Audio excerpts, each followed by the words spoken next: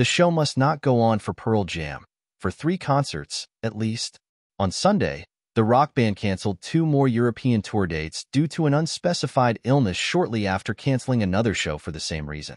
We are sorry to share that the Pearl Jam concerts scheduled for Tuesday, July 2nd and Wednesday, July 3rd in Berlin are canceled, the band said in a statement shared on social media. Tickets will be refunded at the point of purchase. Thank you for continued understanding and support. It means the world. The photo and the social media post gave fans more information on how the band members were still recovering from undisclosed health issues. Despite everyone's best efforts, the band has yet to make a full recovery, the statement reads. The impacts of this decision are not lost on us. We feel deeply that so many people spend their time, money, and emotional energy to get tickets and then to come see the band, and it is heart-wrenching to have to disappoint you. We also appreciate the many people whose hard work goes into making these shows happen. The statement continues, Please trust we never take these decisions lightly and try to do everything possible to show up for you all.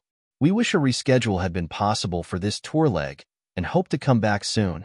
Pearl Jam previously cancelled their Saturday, June 29th show at London's Tottenham Hotspur Stadium for the same reason.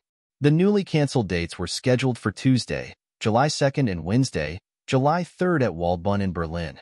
The band is supposed to play next on Saturday, July 6th in Barcelona. The band was recently joined on stage by Bradley Cooper at May's Bottle Rock Napa Valley Festival for a duet of Maybe It's Time from 2018's A Star is Born, as well as an encore to Neil Young's Rockin' in the Free World.